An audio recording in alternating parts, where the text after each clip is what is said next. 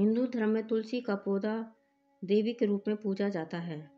इसका न सिर्फ़ औषधि के रूप में उपयोग उपयोग होता है, बल्कि हिंदू धर्म में से पौधे को देवी का रूप मानकर पूजा की जाती है। कहते हैं कि धार्मिक मान्यताओं के अनुसार तुलसी के पौधे में माता लक्ष्मी का वास होता है। इसे देवी का रूप माना गया है।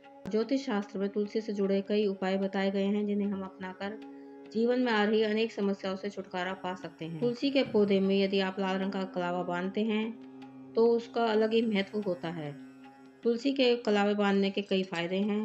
कहते हैं कि तुलसी में यदि आप तो लाल रंग का कलावा बांधते हैं, आर्थिक स्थिति आपकी मज़बूत होती है, धन संपत्ति आपकी बढ़ती है, आपकी जो भी धन संबंधी समस्या है, वो सब आपकी दूर हो जाएँगी।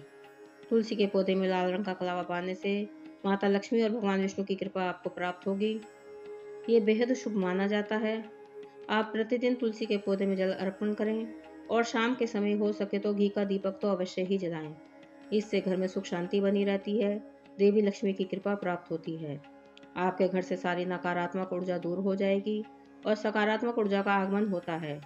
इसलिए हो सके तो तुलसी का पौधा अवश्य ही लगाएँ। और नियमित रूप से उसकी पूजा अर्चना करें। कहते हैं कि तुलसी की पूजा करने से कुंडली में बुद्ध संबंधी जितने भी दोष होते हैं, सब दूर हो जाते हैं। आदमी की नौकरी, व्यापार आदि में सफलता मिलती है। दिन दुनी रात चौगनी उन्नति होती है। घर में सुख, शांति बनी रहती है और संपन्नता बढ़ती है। तुलसी में एक लावा बांधने से आप जातक, अपने जीवन में आ रही अनेक समस्याओं से छुटकारा पा सकता है। इसलिए हो सके तो तुलसी की पूजा अवश्य करें। उसमें जल चढ़ाएँ। शाम के समय घी का दीपक जलाएँ और एक कलावा लाल रंग का कलावा भी बाँध दें। इससे आपकी हर समस्याओं का समाधान होगा।